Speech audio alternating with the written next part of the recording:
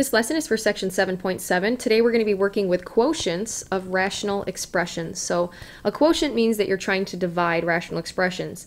Um, so that's our main objective. However, so divide rational expressions. However, really what this should say is multiply rational expressions. It's really a continuation of what we've been working with yesterday with some a little bit more difficult problems in it. But to um, kind of demonstrate why you're really just multiplying expressions, I want you to consider how to divide one-fourth by two-thirds. Now we know that if we didn't have a calculator here, we would just take the reciprocal of uh, two-thirds, so th three halves, and we'd multiply one-fourth by three halves, so we would get three eighths.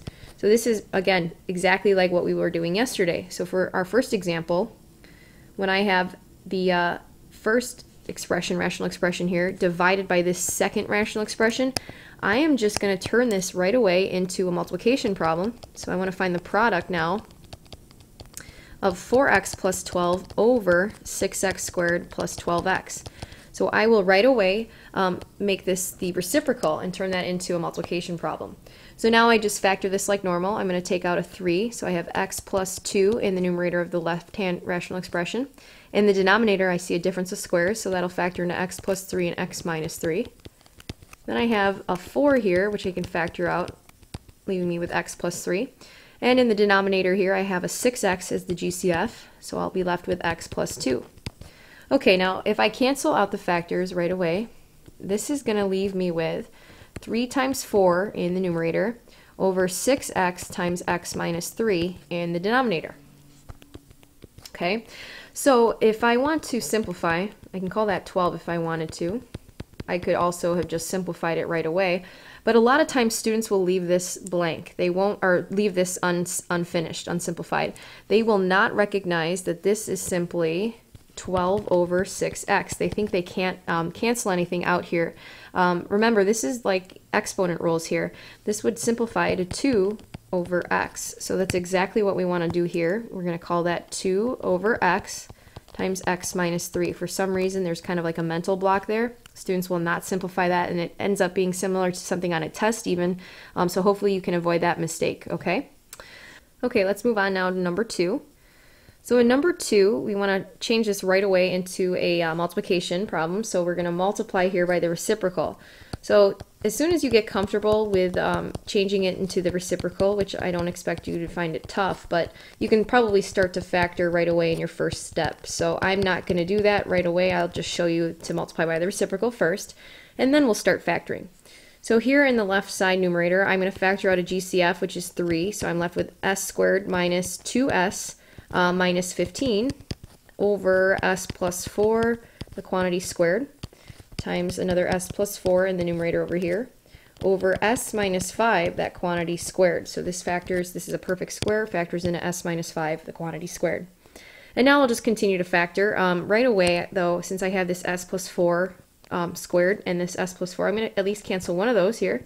So now I have just s plus 4 in the denominator. And then if I factor in the numerator, I have 3 times s minus 5 times s plus, uh, 3. So over s plus 4. And over here I have 1 over s minus 5, the quantity squared. All right, now I see another time where I can take out at least one of those s minus 5s. So now I have s minus 5 in the denominator. My final answer here um, would be 3 times s plus 3 over s plus 4 times s minus 5.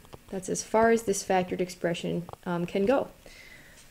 Okay, so here right away in number three, we see some difficult um, fraction work here. Um, I've got this quantity, a squared minus 4a plus 4 divided by a squared minus 5a plus 6, all divided by this other fraction here. Now, when you're dividing fractions, again, remember it's just multiplying by the reciprocal. So if I wanted to write this out longhand, I would take this and show that it's being divided by this guy here. I don't want to rewrite everything because it's going to take up so much space. But basically that means then I can change this into a multiplication problem.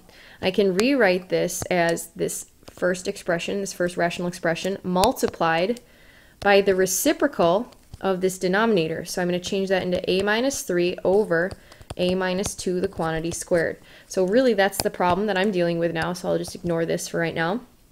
And then I begin factoring. So I have a minus 2, the quantity squared in the numerator here, And in the denominator, this is a minus, uh, a plus 6. Oh no, that's wrong. Sorry, a minus 2 and a minus 3. Because I need the product to be positive 6 and add up to negative 5. And then I have a minus 3 over a minus 2, the quantity squared. All right, right away, those a minus 2's, those will cancel, both of them. Um, and then I have this a minus 3, which will cancel with this a minus 3, leaving me with 1 over a minus 2. So really what um, we wanted to show you in this problem, it's pretty easy once you actually get it set up correctly, is what to deal with um, when you see something like this. This is a fraction divided by another fraction. Make sure you just think of that as just multiplying by this particular reciprocal. All right, let's move on to number four. Okay, number four is going to take up the bulk of the lesson here in terms of time, um, and that's because it's definitely the most complex of the four questions that are on this note sheet. So I'm going to show you two different ways actually to go about um, trying to find the quotient of this particular expression divided by this expression. So I'm going to show you two different ways.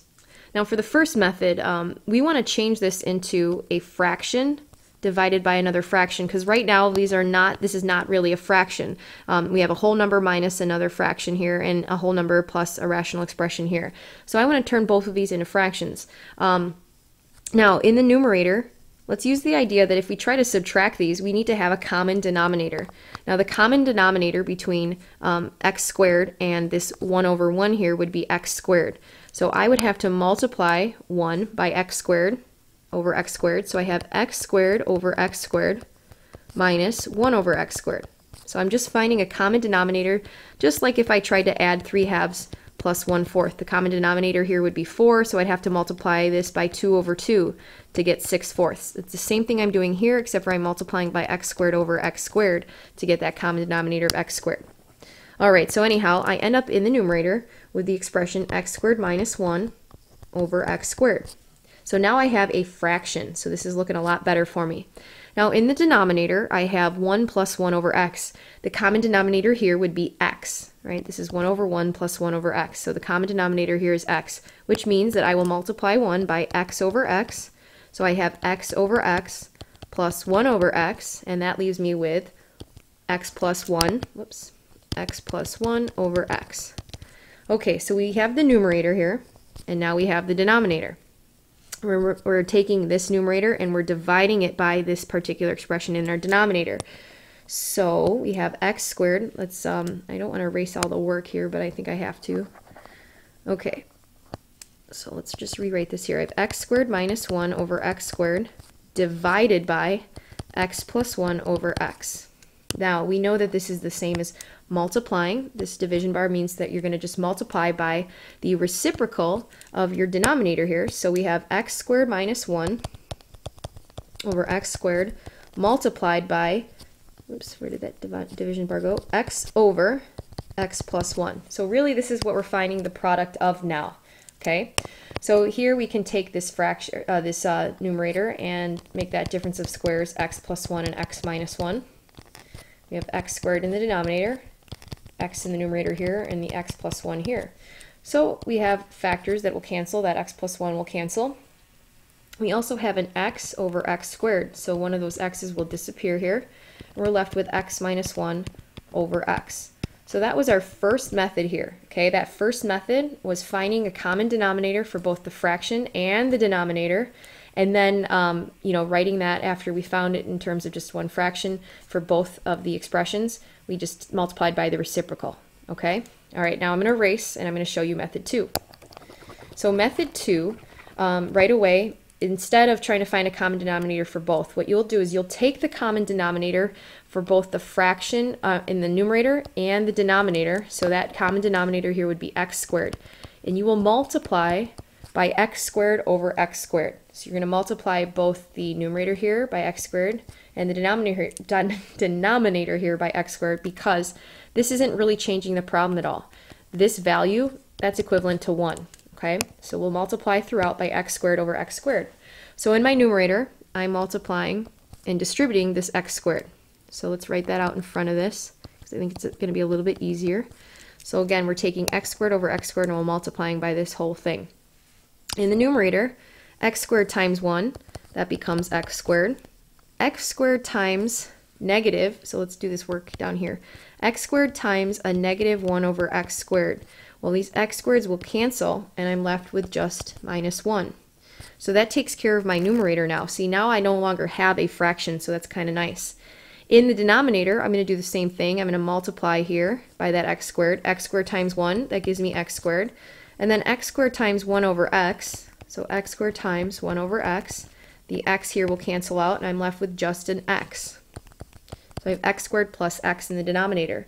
Now I just factor this uh, like normal, so I have x plus 1 times x minus 1. If I factor out the x here, the GCF, I'm left with x plus 1. These will cancel, and I'm left with the exact same expression I had when I use my first method, x minus 1 over x. All right, now it's really up to you, whichever one you feel more comfortable with. But that's the idea when you're multiplying uh, or when you have complex fractions here.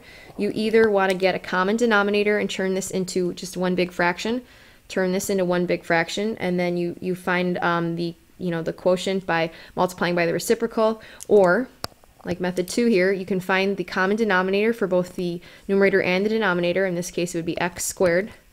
You multiply by x squared over x squared, so that x squared gets distributed to the numerator, and this x squared gets distributed to the denominator. It simplifies, and you just continue to simplify using our normal methods. Okay, I know that one's kind of a confusing one. You'll definitely see more examples of that tomorrow. Um, we'll probably have something similar to that in a quiz check or in a um, uh, in-class homework assignment. So um, get ready for it. So nice job. I'll see you guys in class tomorrow.